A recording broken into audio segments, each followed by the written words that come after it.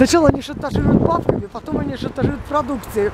После этого шантажируют погром квартиры, после этого они приготовить пищу. После этого они вымеряют. Ну в чем же ваш секрет? Ну в чем мой секрет? Вы репрессируете, блядь.